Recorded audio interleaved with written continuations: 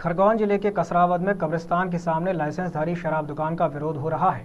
मुस्लिम समाज संगठन सहित भीम आर्मी एकता मिशन ने कसरावद एसडीएम सहित पुलिस व आबकारी विभाग को ज्ञापन देकर शराब दुकान को हटाने की मांग की है। मुस्लिम समाज जनों ने बताया कि लगातार शराबियों के द्वारा शराब की खाली बोतलें, असामाजिक तत्व कब्रिस्तान के गेट सहित अंदर फेंक रहे हैं। मुस्लिम समाज सहित भीम आर्मी ने भी चेतावनी दी है कि अगर एक सप्ताह में दुकान नहीं हटी तो चरणबद्ध आंदोलन किया जाएगा। खरगोन रोड के ऊपर विदेशी शराब दुकान जो खोल रखी है। हमारा सबसे बड़ा विरोध है कि उसको तुरंत हटाई जाए। वहाँ हमारे कब्रिस्तान का गेट है और गेट के सामने जो है कुछ लोग शराब पी करके जो है बाटले फेंक फेंकते हैं, पाउच फेंकते हैं और आए दिन वहाँ विवाद होने का डर है, शांति भंग होने का डर है।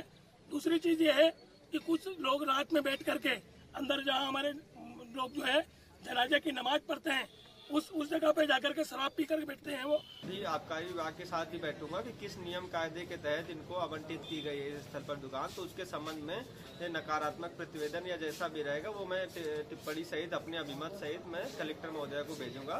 तो इसमें चूँकि ज़िले स्तर पर ठेका होता है तो मुख्य कार्यवाही कलेक्टर महोदय के माध्यम से हमारी अनुशंसा सहित हमारी टीम के आधार पर की जाएगी।